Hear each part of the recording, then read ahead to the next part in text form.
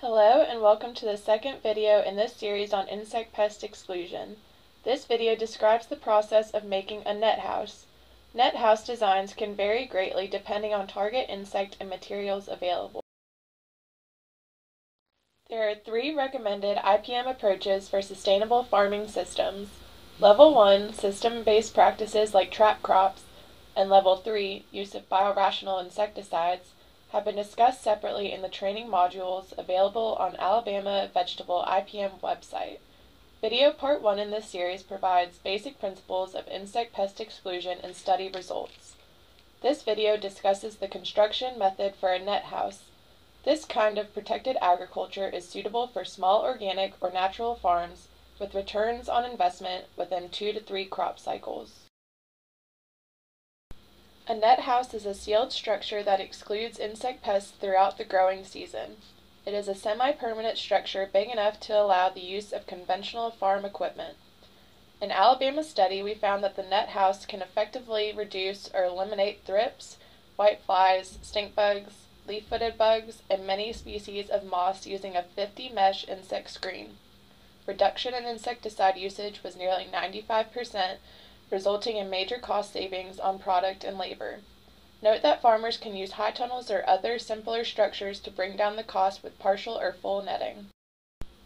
There are many benefits of net house vegetable production system in terms of crop yield and quality. Our findings related to the significant reduction of insect pests and insecticide usage are consistent with past research. The following slides will outline the net house construction process Producers are encouraged to develop their own design after considering the target pest and available resources.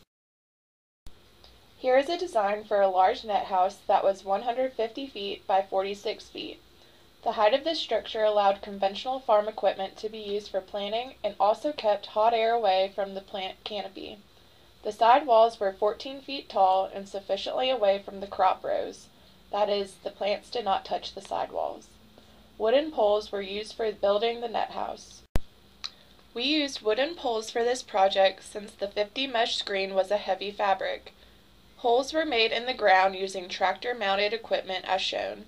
Wooden poles were partially buried in the ground and soil around the poles was compacted for stability. Once all the wooden poles are in the ground, a hole was drilled on the top 6 inch and steel cables were stretched over the top as shown. In our experience, frequent storms and strong winds can destabilize a net house, so the steel cables help in sharing weight of the structure. We have also constructed small net houses and found the addition of cable support a worthwhile effort to anchor the structure to the ground. Steel cables on both sides were anchored to the ground. The large roll of insect netting or fabric can be seen on the left, a high quality insect net can last four or more years under ideal conditions. The fabric pieces were stitched together using a handheld sewing machine. A double stitch with reinforcement was done for all pieces. Before putting the fabric over the cables and wooden poles, a trench digger was used to create a three foot deep furrow parallel to the side walls on both sides. Insect netting or fabric was stretched over the steel cables and wooden poles. Some other designs, such as U-frames, may make it easier to stretch the fabric and make a net house. Once the fabric was laid over the poles, the fabric was tucked into the ground about 3 feet in order to make a tight sidewall on both sides. Tight sidewall allows pores to remain open and improves airflow within the net house. Net house can be large to allow the entry of conventional planting equipment as shown in this picture. End walls and screen doors can be installed after basic soil preparation is over. Vegetable transplanting can be done after complete sealing of the net house. It is important to check transplants for insect infestation if they are grown outside the net house. Limit traffic entering the structure to prevent accidental pest entry through the double doors. Check the entire fabric frequently to detect any tear and repair immediately.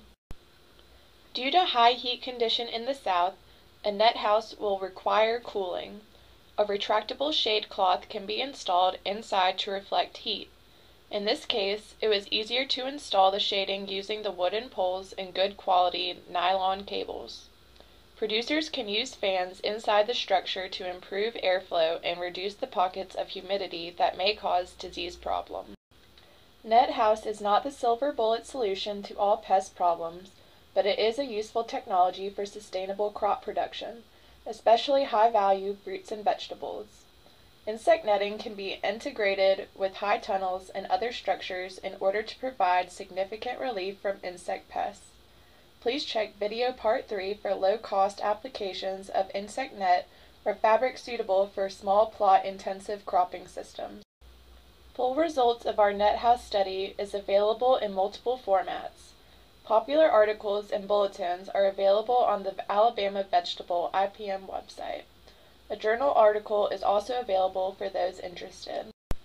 Please consult the lead author or a commercial horticulture regional extension agent for further details. Attend a specialty crop production meeting for hands-on training on insect scouting, IPM, and beneficial insects. We thank the funding agencies, industry partners, and cooperating producers for supporting the Alabama Vegetable IPM program. Please subscribe to the Alabama IPM Communicator newsletter by emailing the lead author.